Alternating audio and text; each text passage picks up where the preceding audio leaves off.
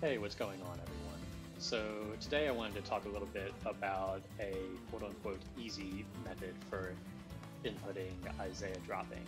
Um, so, I was just messing around with Isai dropping a few minutes ago and just different ways to input the Isai drop.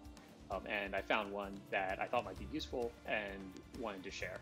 So, of course, I'll go into first what is Isai dropping? Um, for those of you familiar with it, you already know. Um, and of course, you know, why is it important? What are some ways you can misinput it? And what's a way to, you know, get around that, um, that misinput? And that's the thing that I want to share. So first off, what is Isai dropping? So you're on a stage with classic Battlefield, and you're on a platform. Say your opponent is below, and you want to find a way to get off the platform, get down, um, maybe with well with whatever option you want. It could just be a um, an empty uh, drop down. It could be some type of falling aerial, um, maybe go into a grab, whatever. So, um, for example, you know, just fall down, fast fall aerial, so like fast fall back airs, um, etc. So, what's the issue um, with this? Well, it's very predictable. You might want to mix it up, or you might want different positions um, from which to punish. So you predict somebody going, so somebody doesn't go here, they wait for you. Um, you maybe you want to hit someone who's like right here, right? And that's what the Isai drop is about. Um, being able to um, turn whatever position you want and drop down to the left, say drop down to the right. Um, so how the uh, do how you do the Isai drop raw is to just tilt in one direction tilt in the other direction and drop down. Right. So what's the issue with this? So a possible issue, um, at least at least for me, um, maybe for some others as well, but definitely for me. Um, so if I'm in a match and there's match nerves, you know, tournament nerves, um, I, you know, rather than that gentle tilt to the left or gentle tilt to the right, I am going to jerk that control stick. There, there's no way around it. I can't do Min Min to save my life. Um, you know, tilts versus smashes.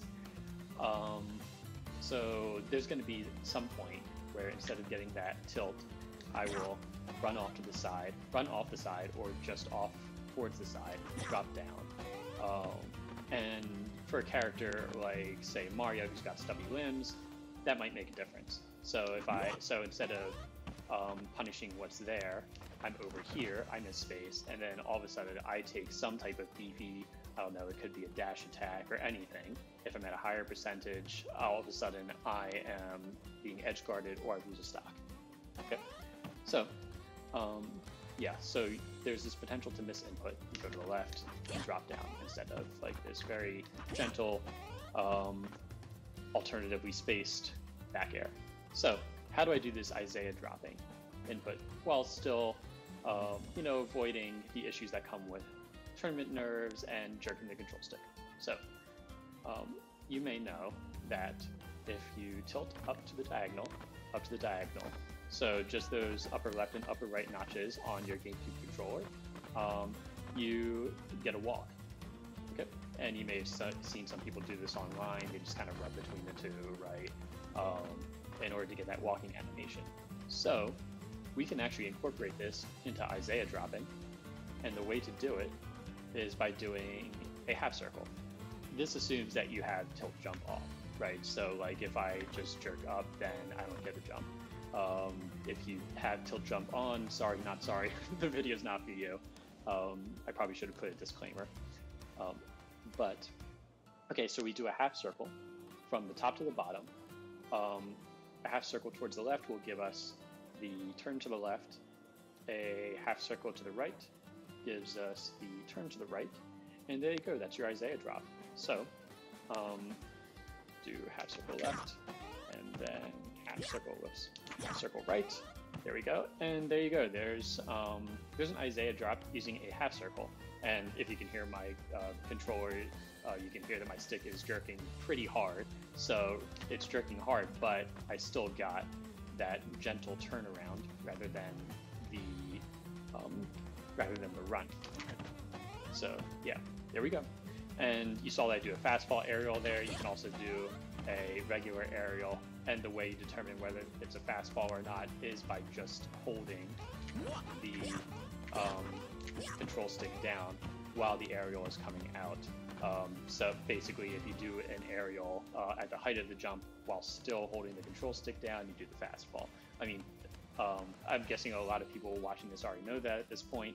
Um, that's super old. But anyway, yeah. So in short, a quote unquote easy Isai drop um, to help avoid misinputs at a match is to do the half circle from the top to the bottom. So half circle left, half circle right.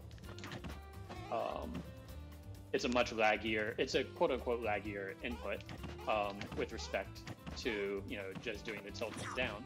Um, but you can just circumvent that lag just by buffering it. So if I like fall into a buffered aerial, then all of a sudden I have, um, or sorry, an, an aerial and then buffer the Isai drop input, um, the easy Isai drop input, then all of a sudden I get the full sequence, right? Um, so yeah, that's uh, that's pretty much it in a nutshell. I uh, was just messing around with it, and I thought this might be helpful.